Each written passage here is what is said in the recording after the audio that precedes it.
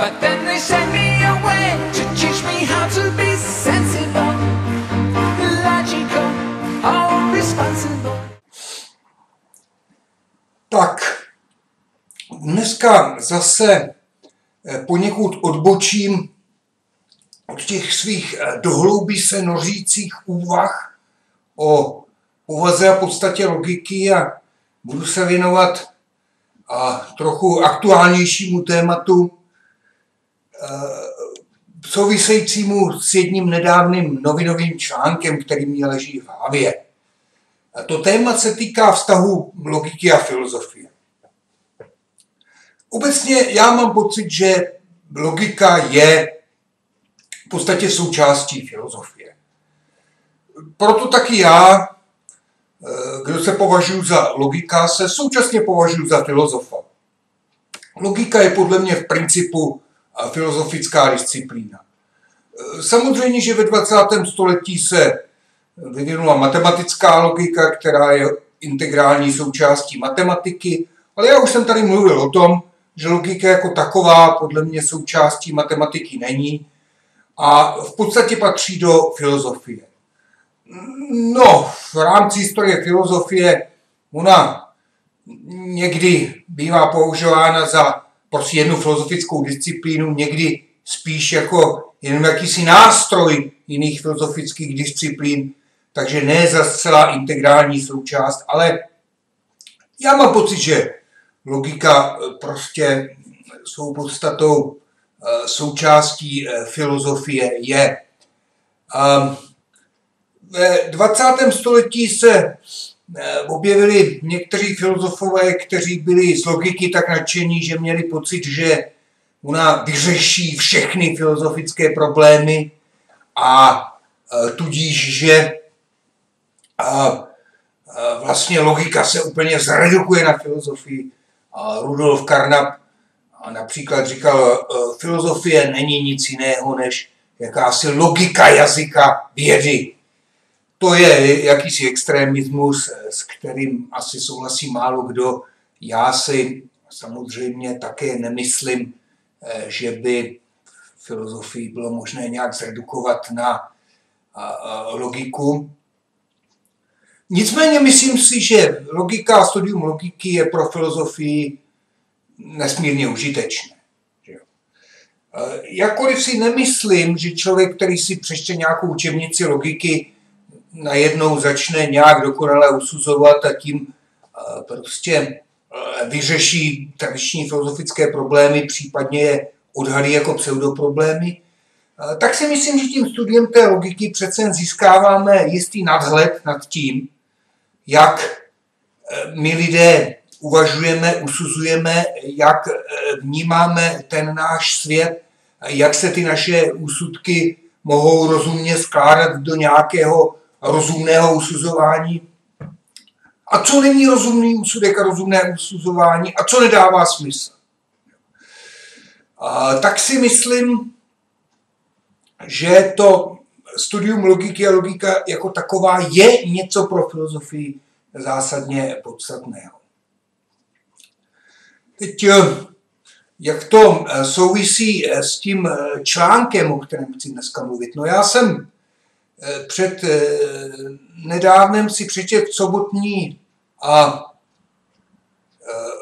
příloze Lidových novin rozhovor s člověkem, který se jmenuje Timothy Morton a který je podle toho, co psal ten redaktor eh, Lidových novin, který s ním vedl rozhovor, který je podle mě jeden z nejvlivnějších současných filozofů.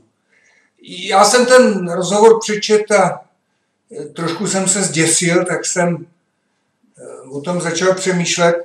První věc, která byla, která mě překvapila, bylo, že jsem o e, tomto údajně jedním z nejvlivnějších filozofů nikdy neslyšel. E, snažil jsem se tady o něm něco najít, e, podíval jsem se do encyklopedie, kterou považuji za v tomto ohledu za nejautoritativnější, do Stanfordské encyklopedie filozofie, která je volně přístupná na webu.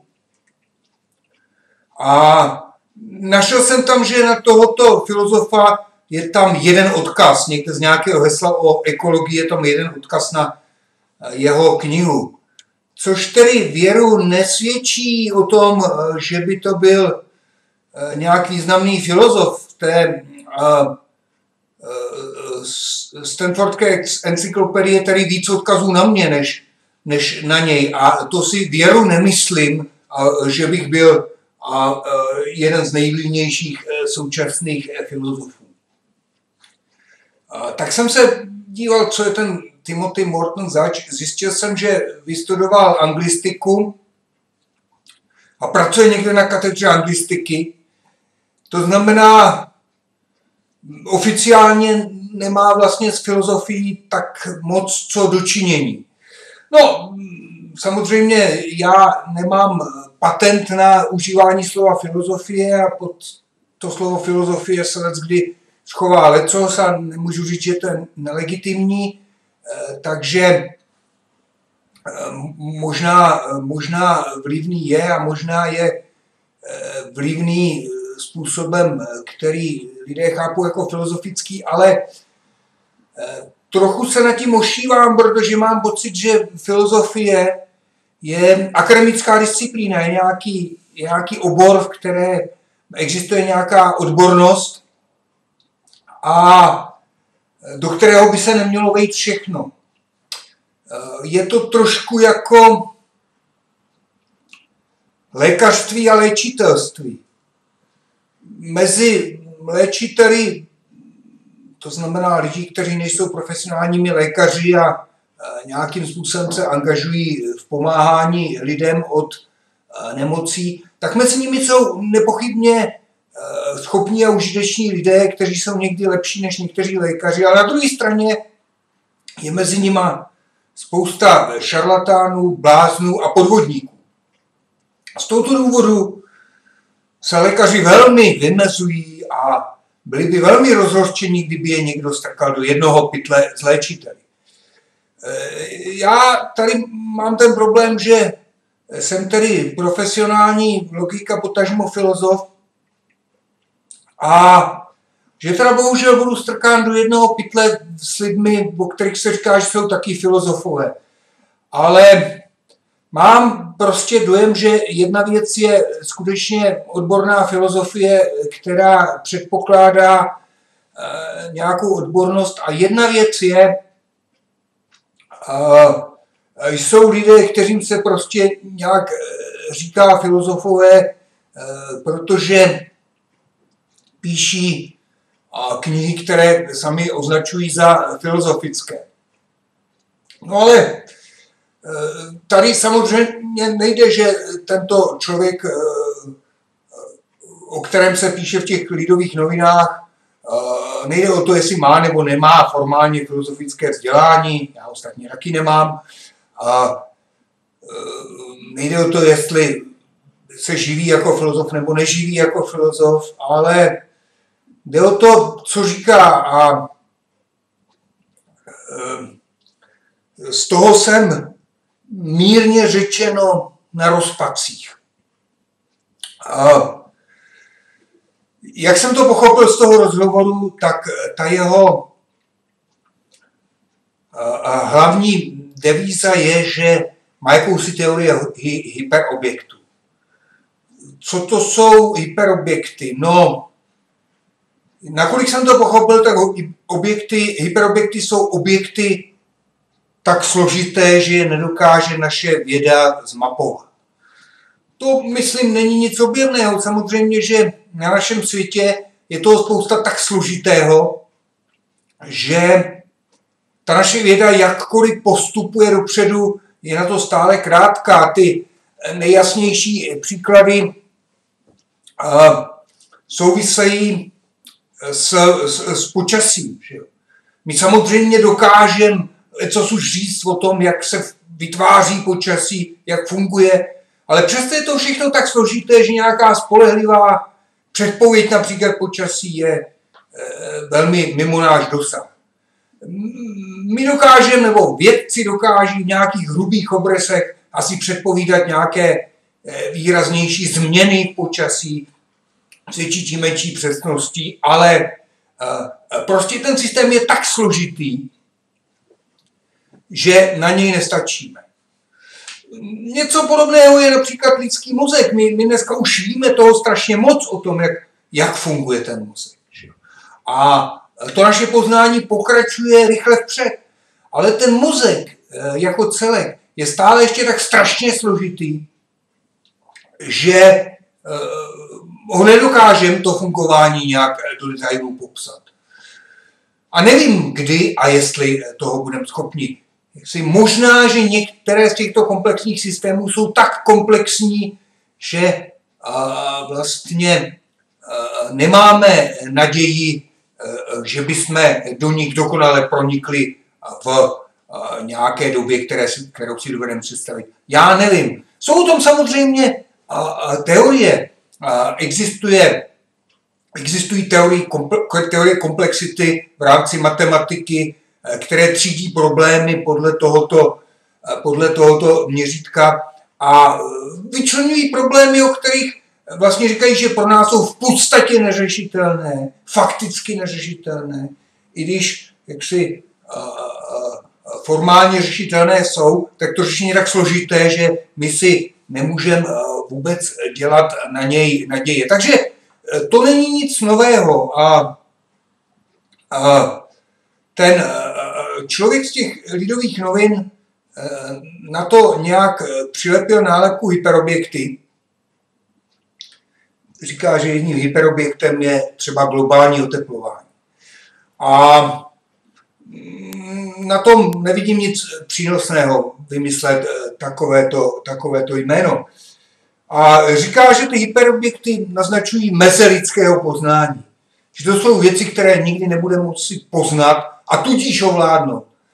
No já nevím, já se nebráním představě, že něco je tak složité, že to nebudeme moci v podstatě nikdy poznat, ale nevím, jak bychom to mohli teďka říci. My v tom poznání těch komplexních systémů nějak postupujeme, určitě jsme schopni poznávat komplexnější a komplexnější jevy a objekty. Já nevím, jestli můžeme o něčem říct, že to je tak komplexní, že se k tomu nikdy nepropracujeme, k tomu poznání. Mně se to zdá, mně se to zdá trochu divné.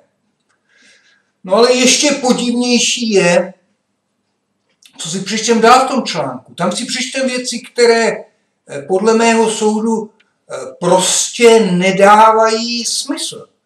A, a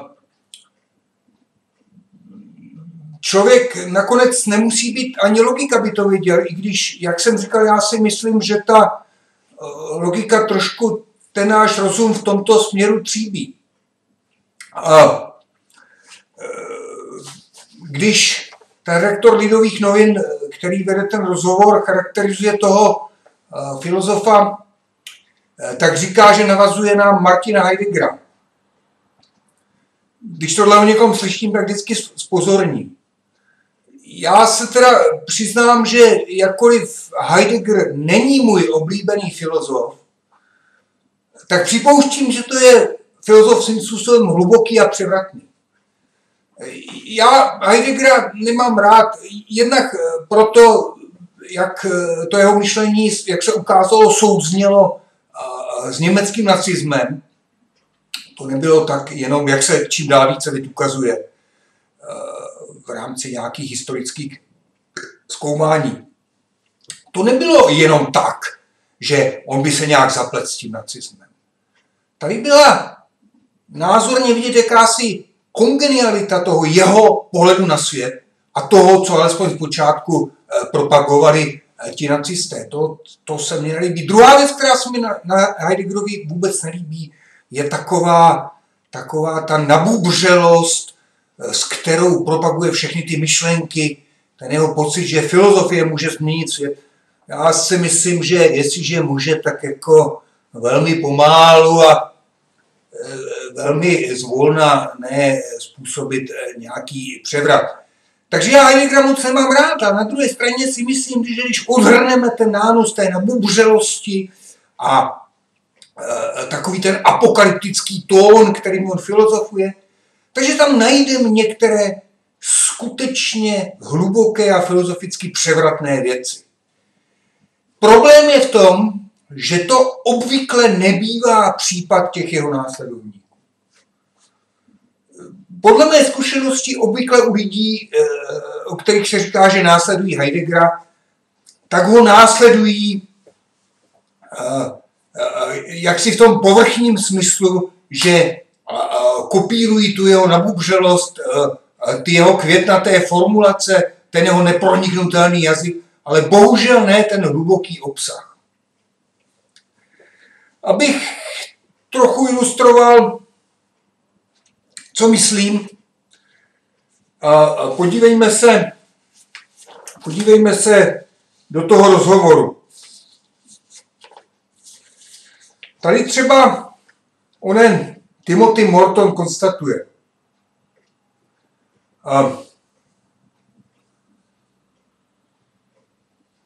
Zdá se mi, že hyperobjekty a hurikán v Texasu byl jedním lokálním projevem hyperobjektu zvaného globální oteplování. Sebou přinášejí něco mnohem temnějšího a tudíž více zneklidňujícího než někdejší katastrofy.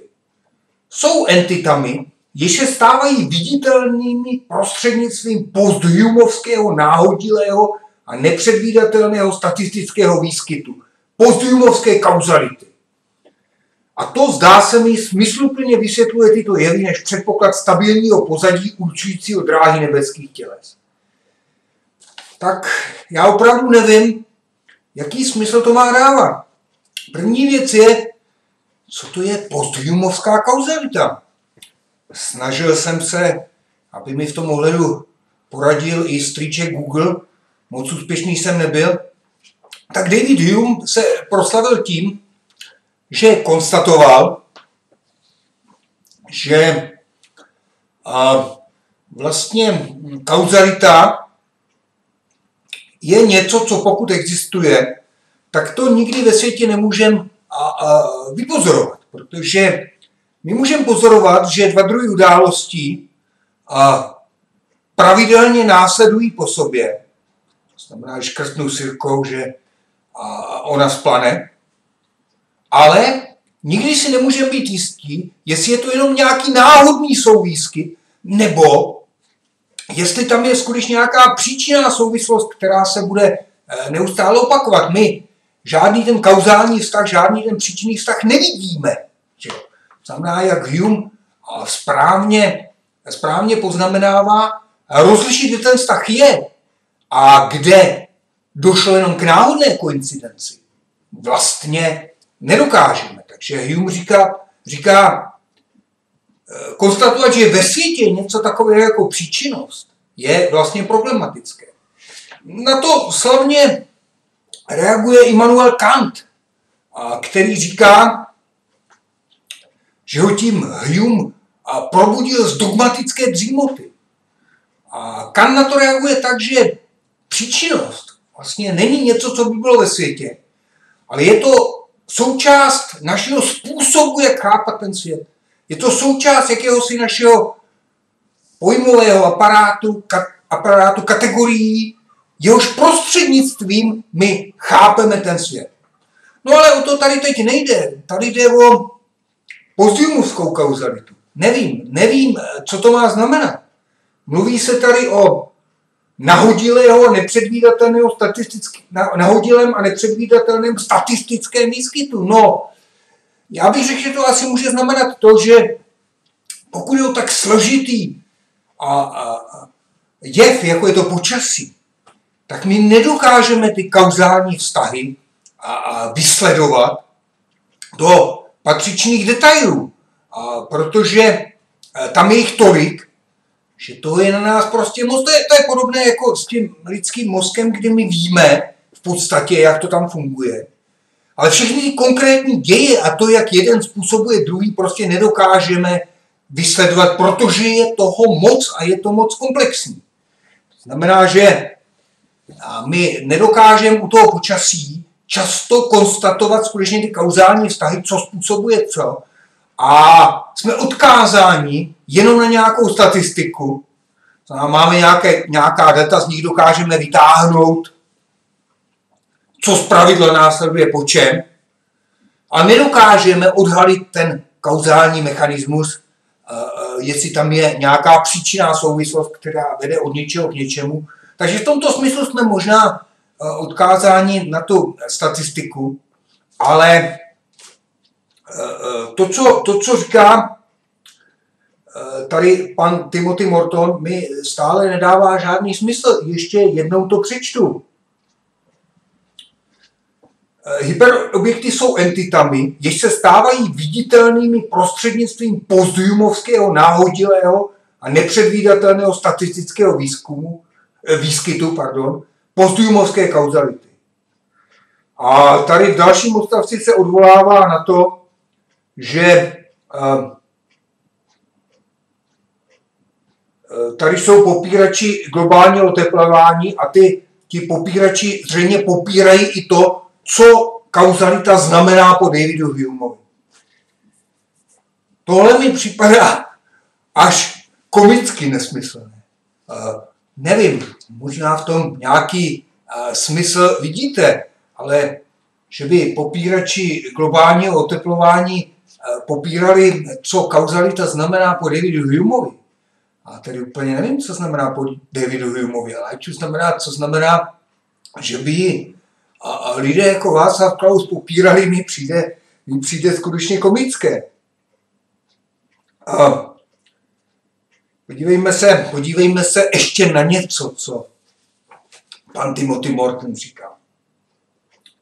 Zvykli jsme si říkat a myslet si, že celek je vždy více než souhrny jeho částí, ale je to tak opravdu? A co tím máme na mysli? analyzovali, či dokonce dokázali jsme někdy takové tvrzení? Jsem holista, ale chtěl bych podotknout, že takzvaně implozivní. Jsem přesvědčen, že celek je vždy méně než souhrn jeho částí.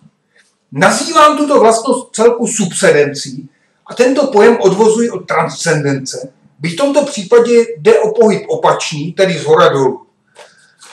No, je tady celek více nebo méně než souhrn jeho částí. A je možný něco takového, jak se dohaduje eh, pan Morton, nějak dokazovat. No podívejte se, tak vezměme si fotbalové mužstvo. To je nějaký celek, který se skládá z částí, jimiž jsou jednotliví hráči. Je to mužstvo více nebo méně než ty jeho části? No tak, jak si v nějakém smyslu můžeme říkat, že je více, protože jenom celé to mužstvo může hrát fotbalový zápas, může dávat góly a může dělat všelijaké ty věci, které nemohou dělat ty a, jednotlivé části.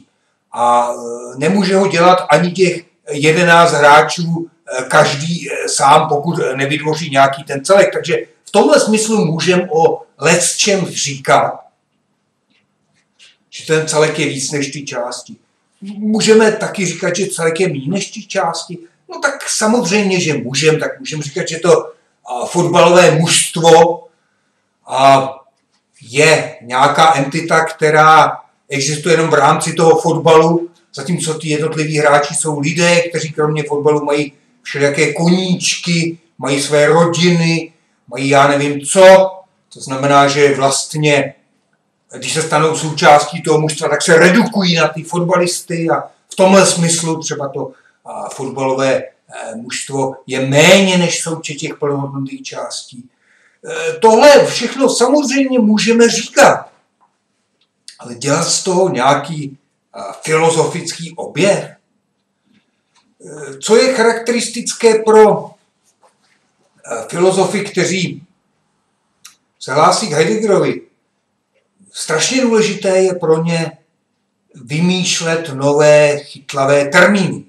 To znamená, jsme mluvili o, o, o hyperobjektech a tady vidíme, že když eh, ten člověk eh, přijde s takovouto myšlenkou, která podle mého soudu jaksi naprosto banální, že teda v nějakých ohledech můžeme se na některé celky dívat jako na méně než součet jejich částí, stejně jak z jiného ohledu se můžeme dívat na ně jako více než součet částí, tak hnedka má termín implozivní holismus, což teda je něco, co a, e, čím se vyznačuje jeho vlastní, podle všeho zřejmě, a převratná doktrína.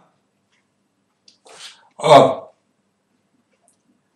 máme tady další termín subsedence. To je, to je velmi krásný termín a e, tady hned e, autor využívá toho zřejmě, že se, ten, že se to slovo rýmuje s pojmem transcendence, tak říká subsedence, subsedenci odvozuje od transcendence, i když v tomto případě z hora dolů.